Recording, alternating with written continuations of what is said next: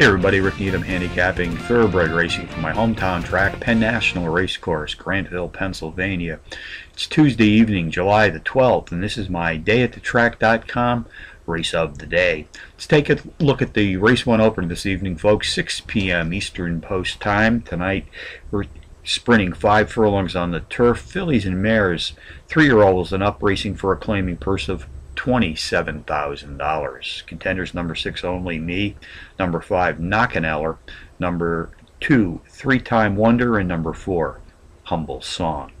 Number six, Only Me, shares the speed honors in the Tuesday night opener with number two, Three Time Wonder, as pace profile leader in this field, sprinting at five furlongs on the turf. Has hit the board in power and fashion in five straight starts, winning three times in this recent streak of racing consistency. Number five, Knockeneller, a 9-2 shot, has hit the board in three of her last four, including a power run win in her second race back, facing slightly better company in that race than she'll face in this claiming field tonight. Race 1 summary, number 6, Only Me, tops the contenders list, which also includes number 5, Knockeneller, number 2, Three Time Wonder, and number 4, Humble Song, 6524 in the first from Penn National.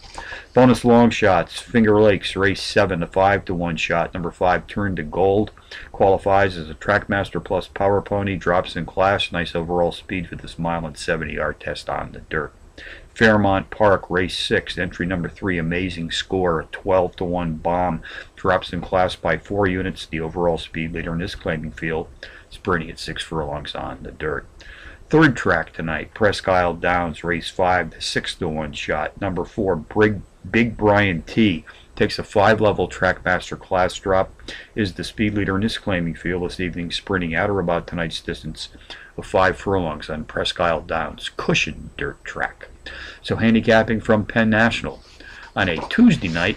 Rick Needham for dayatthetrack.com, reminding you as always to please bet with your head, not over it.